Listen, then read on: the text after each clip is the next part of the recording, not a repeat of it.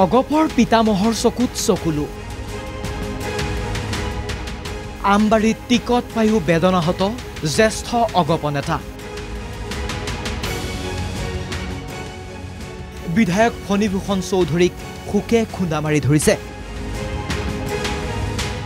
চকুৰ পানীৰে বাট নেদেখা হৈছে অগপৰ জ্যেষ্ঠ নেতাজনে।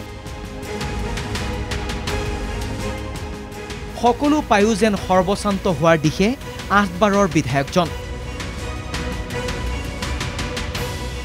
আমবাৰীত কান্দি কান্দি দিশহাৰা জ্যেষ্ঠ ৰাজনীতিবিদজন।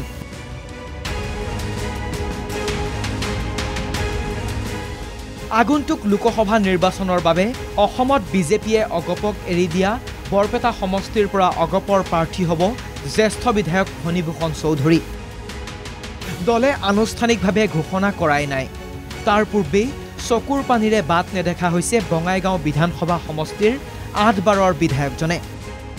প্ৰথমেই ক'লে মই আনৰ আদৰ্শত চামিল হ'ব নোৱাৰিলোঁ।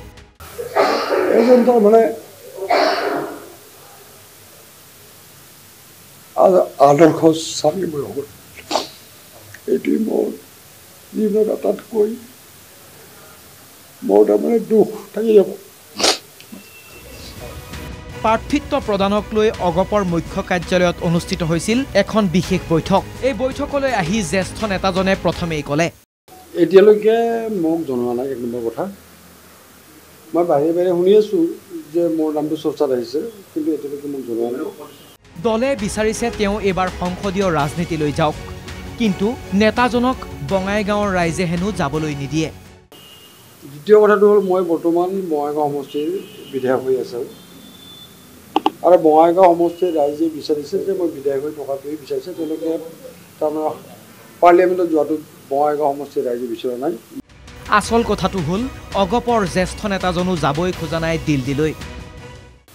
আৰু ময়ো আজিৰ দিনটোত আচলতে মই নিৰ্বাচনত অৱতীৰ্ণ হ'ম বুলি মই নিজেও ভবা নাই।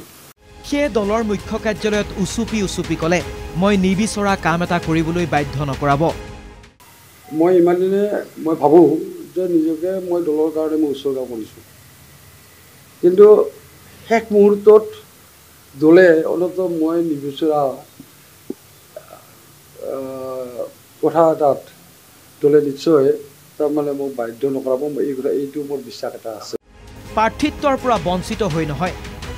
প্ৰাৰ্থিত্ব লাভ কৰাৰ আশংকাতে ক'লে মই আঠত্ৰিছ বছৰে একো নকৰিলোঁ নেকি? না যদি মোৰ লগত আলোচনাত মিলিত নোহোৱাকৈ যদি প্ৰাৰ্থিত্ব মোৰ- প্ৰাৰ্থিত্ব যদি ঘোষণা কৰে মই তেতিয়া ভাবিম যে যোৱা আঠত্ৰিছটা বছৰ যদি মই অসম গণ পৰিষদ দলৰ এজন সৈনিক হিচাপে কাম কৰিছোঁ মোৰ তাৰমানে যিটো মই দলৰ পৰা ৰেচপন্স পাব লাগে সেই ৰেচপন্স নাপাওঁ বুলি মই ভাবিবলৈ বাধ্য হ'ম। ৰাজনীতিটো যে এনে বিড়ম্বনা থাকিব পাৰে সেয়া চৌবিছৰ নিৰ্বাচনত অগপৰ মঞ্চতে প্ৰতিফলিত হৈছে। দলীয় টিকট নাপাই বিদ্ৰোহ কৰা নেতা বহু দেখিছে। টিকট বঞ্চিত হৈ ৰাজনীতিৰ পৰা সন্যাস লোৱাৰ উদাহৰণো বহু আছে। কিন্তু দলীয় টিকট পাব বুলি জানি এনেদৰে শোকত ভাগি পৰা উদাহৰণ হয়তো এইখন দেশত এয়াই প্ৰথম। অৱশ্যে নকলেও হ'ব যে বঙাইগাঁৱৰ পৰা অগপৰ জ্যেষ্ঠ নেতাজনক আঁতৰ কৰিব খোজাটোৰ আঁৰত আছে এক শীতল মস্তিষ্কৰ ৰাজনীতি। এই ৰাজনীতিৰ পাশা খেলত অৱশ্যে কোনে মাৰিব শেষ বাজি সেয়াও পিছে অতি সোনকালেই স্পষ্ট হ'ব। bureau' report N K TV